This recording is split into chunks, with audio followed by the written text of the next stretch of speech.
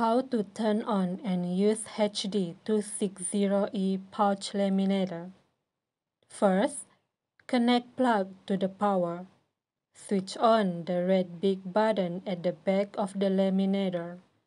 HD260E variable temperature control. It can be adjusted according to the micro measurements of lamination pouch. Press the start button. The machine will start to warm up while showing the current temperature. Once the ready light turns green, the user can start laminating.